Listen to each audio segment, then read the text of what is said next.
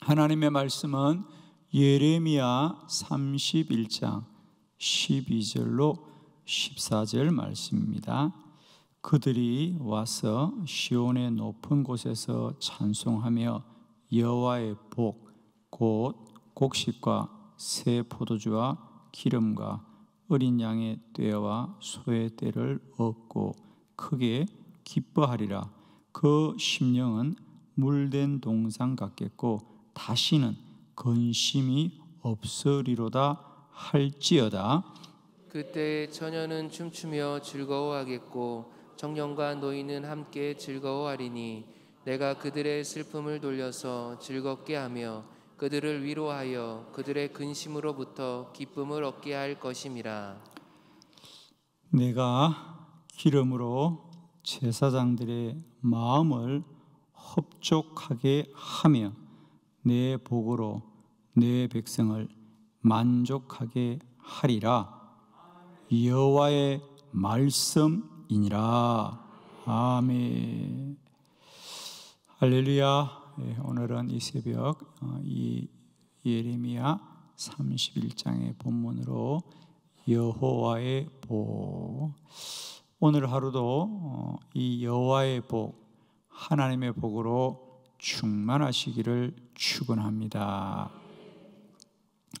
오늘 12절에 보면 어, 그들이 와서 시온의 높은 곳에서 찬송하며 여호와의 복, 여호와의 복, 즉 곡식과 새 포도주와 기름과 어린 양의 어, 양떼와 소떼를 그리고 그들의 심령을 물된 동상같이 기쁘게 하리라 그랬어요.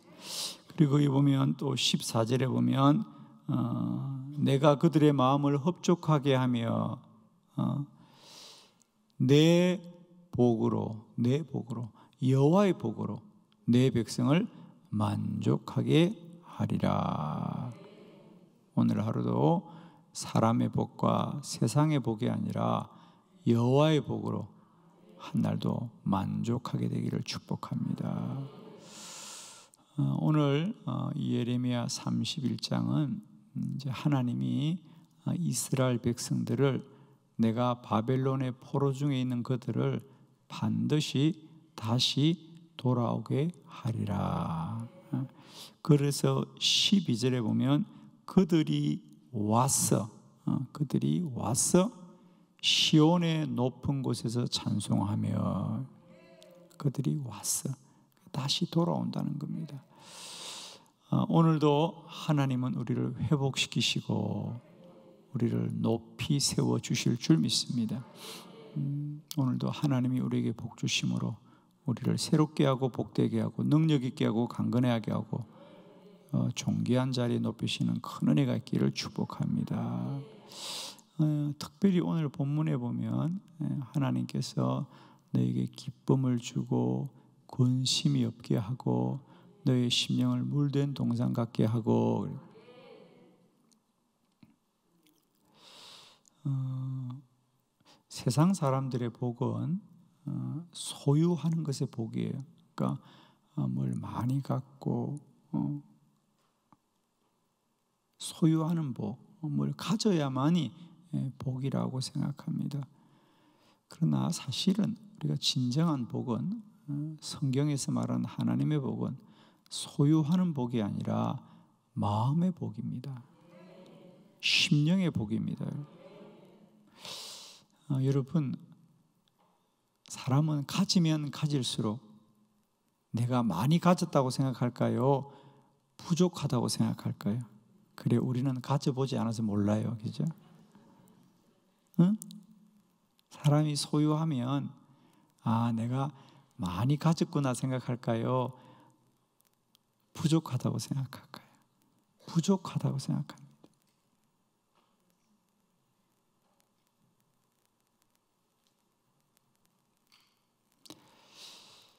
소유의 기쁨은 우리에게 늘 더 부족하고 더 부족한 것 잠깐은 기쁨을 가졌으면 그러나 늘 그것은 또 어, 갈증을 낳고 갈증을 낳습니다. 마음이 복되어야 할 줄 믿습니다. 결국 모든 것을 누리는 건 마음이에요. 세상을 다 가져도 슬프면 슬픈 거예요. 그러나 우리가 가진 것 하나도 없어도 이 세상을 하나님이 다 나에게 주셨다고 믿으면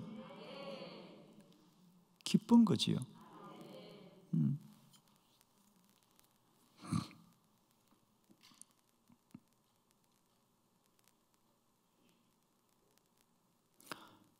어, 우리는 꼭 뭐 어디 있는 땅을 뭐 어디 있는 산을 꼭 내 이름으로 꼭 등기를 해야만이 내 거라고 생각하는데 여러분 다그 여러분 거예요 그냥 처음부터. 거기 그 몇 번지만 여러분 게 아니고 이 세상 천지 만물이 다 여러분 거예요. 저도 산을 몇 개 가지고 있어요 여러분. 예. 저기 설악산도 있고 지리산도 있고 예. 어, 그냥 그냥 가세요 괜찮아요 예. 그 저는 참 특권이 있어 갖고 그걸 관리를 나라에서 다 해줘요 저는. 예. 뭐 내가 가서 이렇게 뭐 관리하고 그러지 않아도 돼요. 저는 복을 많이 받아가지고 나라에서 다 관리를 해줘요, 여러분. 예. 여러분도 그냥 가세요, 괜찮아요. 예. 앞에 가서 제 이름 얘기하고 다 들어갈 수 있어요. 음. 거기 가면요.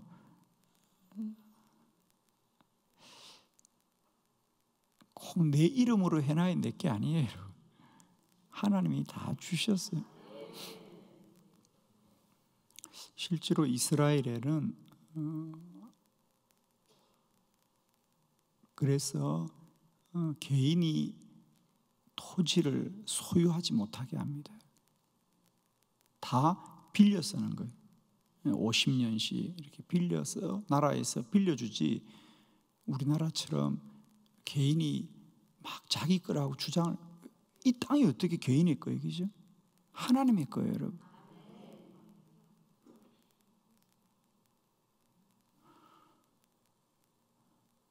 그러니까 성경적으로 사는 사람들은 원리가 달라요, 여러분. 사실 우리나라의 가장 큰 고통이 지금 여기 있는 거 아닙니까? 사실은 그죠? 여러분 그거 다 지고 가실 거예요, 갈 때. 다 두고 가셔야 되는 거예요. 근데 우리는 일생을 거기에 매여 가지고 어? 내가 가진 게 몇 평이다, 몇 평이다 그런데 그게 우리 일생을 맡기고 그게 그냥 우리 삶을 다 소진하고 살아가는 일생을 그저 평수 넓히다가 끝나는 건데 어, 우리가 좀 자유할 수 있기를 원합니다. 하나님은 이 천지 만물을 다 우리에게 주신 건데 우리는 어떤 은혜보다도 늘 마음의 복과 은혜를 누리게 될 줄 믿습니다. 잠언서 4장 23절 우리 한번 크게 합독합시다. 시작. 모든 지킬 만한 것 중에 더욱 내 마음을 지키라. 생명의 근원이 이에서 남이니라. 아멘. 우리는 땅을 지켜야 될 게 아니라 마음을 지켜야 됩니다. 금고를 지켜야 되는 게 아니라 마음을 지켜야 돼요. 생명의 근원이 마음에서 나오는 거예요. 생명의 근원이 마음에서 나온다. 어, 우리는 그 전에 화병이다 이런 얘기를 많이 했는데 어, 뭐 조금 더 어, 고급스럽게 좀 더 표현하면 어, 모든 병이 스트레스에서 시작된다. 그래서 우리가 병원에서 암이 왜 걸리냐 그러니까 우리는 뭐가 크게 고장이 난 줄 알았는데 그렇지 않고 다 마음 때문에 그렇대요, 여러분. 마음 때문에 그렇대요. 여러분의 마음의 모든 근심이 떠나가기를 축원합니다. 마음의 주인은 하나님이십니다. 마음의 주인은 우리가 아닙니다. 어. 여러분은 찬송가만 불러서 모르지만 세상 사람들은 내 마음 나도 몰라 그런 찬송가가 있답니다. 내 마음 나도 몰라요. 그렇습니다, 여러분. 마음을 마음대로 할 수 있는 사람은 아무도 없습니다. 하나님만이 우리 마음의 주인이십니다. 자, 잠언서 15장 13절을 함께 봅니다. 시작. 마음의 즐거움은 얼굴을 빛나게 하여도 마음의 근심은 심령을 상하게 하느니라. 아멘. 세상 사람들은 아직도 이 진리를 몰라요. 마음의 즐거움은 얼굴을 빛나게 하느니라. 그런데 우리는 마음은 그냥 그냥 두고 늘 여기만 바르니까 그게 뭐가 아, 빛이 나갔어요. 펄 이렇게 기름기 있는 걸 발라봐야 표정이 어두운데 바르면 뭐해? 표정이 어두운데 발라야 되는 게 아니라 마음이 즐거우면 얼굴을 빛나게 합니다. 마음이 근신되면 심령이 상하게 하느니라. 날마다 때마다 마음이 즐거움으로 여러분의 얼굴이 해와 같이 빛나기를 축원합니다.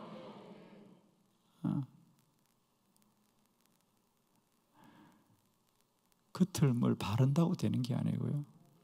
심령이 즐겁고 심령이 복되면 얼굴이 빛이 납니다. 아멘. 오늘도 여러분의 마음이 즐거웠기를 축복하고 모든 근심이 떠나가기를 축원합니다. 마태복음 5장 8절입니다. 다 같이 시작. 마음이 정결한 자는 복이 있나니 그들이 하나님을 볼 것이미요. 아멘. 마음이 청결한 자는 복이 있나니 그들이 하나님을 볼 것이며 오늘도 우리 마음이 청결하고 깨끗하기를 원합니다. 아멘. 마음의 복을 누리는 자가 가장 큰 복을 누리는 자입니다. 자, 어, 하나님이 우리 마음에 어떤 복을 주느냐 오늘 본문에 보면 세 가지가 잘 나와 있습니다. 첫 번째, 하나님은 우리에게 근심이 없게 하신다. 하나님의 복은 마음의 복이다, 심령의 복이다. 하나님은 우리 마음을 어떻게 하시느냐? 근심이 없게 하십니다. 12절 다 같이 시작. 그들이 와서 시온의 높은 곳에서 찬송하며 여호와의 복 곧 곡식과 새 포도주와 기름과 어린 양의 때와 소의 때를 얻고 크게 기뻐하리라. 그 심령은 물된 동상 같겠고 다시는 근심이 없으리로다 할지어다. 아멘. 그들이 와서 여호와의 복을 누리라. 내가 그들을 다시 구원하여서 이제 그들이 여호와의 복을 누리리라. 그 여호와의 복은 뭐냐? 너희가 이제는 근심이 없다. 아, 너희의 심령은 물된 동상 같겠고 오늘도 우리의 심령이 여호와로 말미암아 물된 동상 같아서 근심이 떠나가고 주의 기쁨으로 충만하기를 축원합니다. 아멘입니다. 오늘도 하나님이 우리 마음의 모든 근심을 이기게 하옵시고. 여러분 누구나 세상은 다 아, 문제가 있고 어려움이 있습니다. 근데 우리는 바라보며 멀리해요. 그러니까 문제만 바라보며 문제로 살아갑니다. 그러나 우리는 언제나 그 문제를 해결하시는 여호와를 바라보면 언제나 소망 가운데 달려갈 수 있습니다. 뭘 보느냐에 따라 달라져. 그러니까 문제는 다 있습니다, 여러분. 없는 사람이 누가 있습니까? 그런데 보기를 문제만 보는 사람이 있고 하나님을 바라보는 사람이 있어요.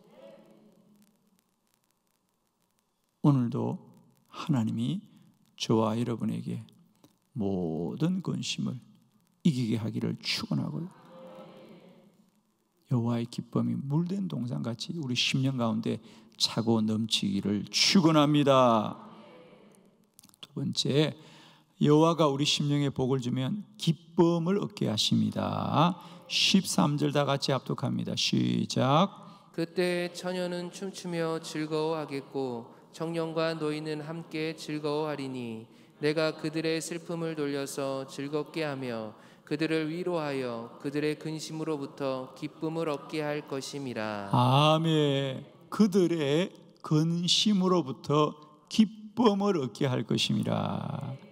여러분, 근심이 있어도 하나님이 기쁨을 주면 그 기쁨이 더 크고 충만할 줄 믿습니다. 그러니까 우리는 어떻게 생각하냐면 근심이 없어야 된다고 생각해요.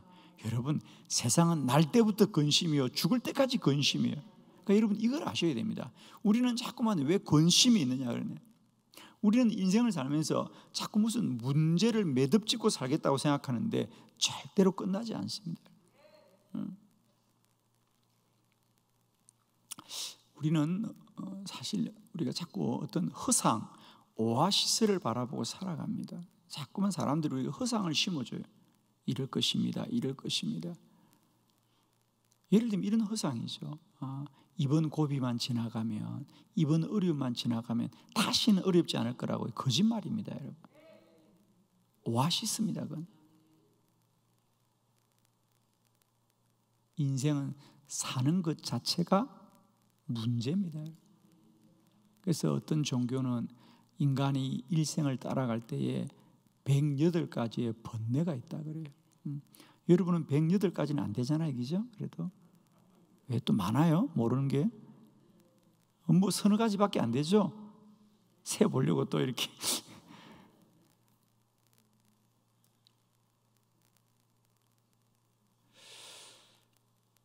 인생은 우리가 근심이 없는 것이 아니라 근심을 이기는 거예요. 이제 이렇게 보면 됩니다. 여러분, 근심이 있는 거 인정하세요. 그러나 하나님이 근심보다 기쁨을 더 많이 주면 기쁜 거예요. 아멘입니다, 여러분. 그러니까 여러분 자꾸만 근심을 없애야 된다고 생각하면 안 돼요, 여러분. 근심은 근심이지만 하나님이 기쁨을 더 많이 주면 기쁘게 사는 거예요. 오늘도 여러분에게 하나님이 기쁨을 얻게 할 것입니다.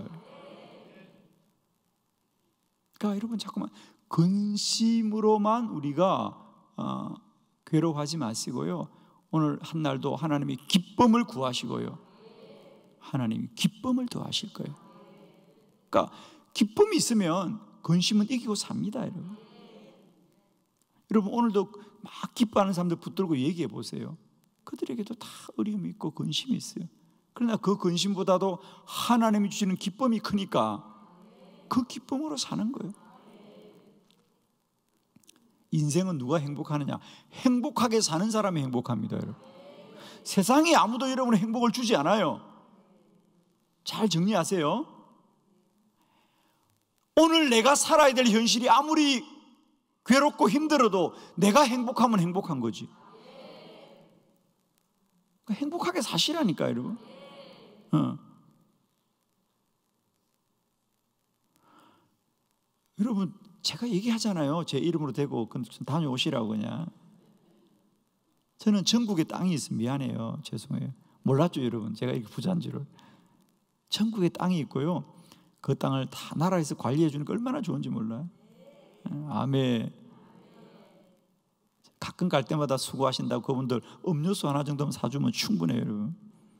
세상에 이름 뭘 세금을 내기를 하나 내가 아이고 정말 얼마나 저는 하나님이 복을 많이 준줄 몰라요. 저는 땅 때문에 세금을 한 푼도 안 내요. 얼마나 복을 받아서 내가. 저는 정말입니다. 내가 땅 때문에 세금을 한 푼도 안 냅니다. 내가. 얼마나 복을 많이 받았어. 아멘이 전혀 안 되는 거.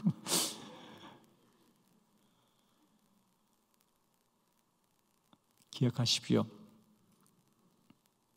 근심으로부터 기쁨을 얻게 할 것이다. 오늘도 하나님 우리에게 이 기쁨으로 충만하기를 축원합니다. 세 번째 만족하게 하십니다. 14절 다 같이 시작. 내가 기름으로 제사장들의 마음을 흡족하게 하며 내 복으로 내 백성을 만족하게 하리라 여호와의 말씀이니라. 아멘. 여러분, 내가 그들의 마음을 흡족하게 하여 내 복으로 내 백성을 만족하게 하리라. 사도 바울도 빌립보서에 보면 내가 일체 모든 것에 자족하는 비결을 알았다 그랬어요. 여러분, 원리는 여기 있습니다. 우리는 자꾸만 뭘 채워야만 기쁨이 있다고 생각하는데 인간의 욕심 아무도 채울 자가 없습니다. 인간의 욕심은 아무도 채우지 못합니다. 채워서 만족해지지 않습니다.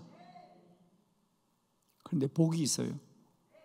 하나님이 우리를 만족해 하십니다. 아멘. 하나님이 만족해 하는 하나님이 만족해 우리는 마음은 하나님이 만족해 하시면 행복한 거예요. 아멘이시죠? 오늘도 하나님이 저와 여러분의 마음의 복을 주시기로 원합니다.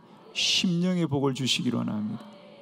모든 근심이 떠나가게 하시고 주의 기쁨으로 충만하게 하여 주시었고 오늘도 만족하고 만족하고 만족하는 자족하는 일체의 비결을 누리기로 원합니다.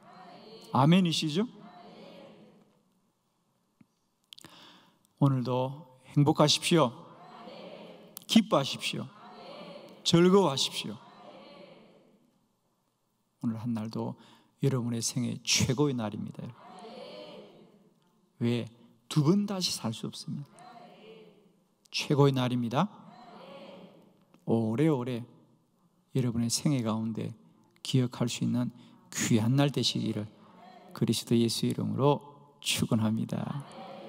기도드리겠습니다.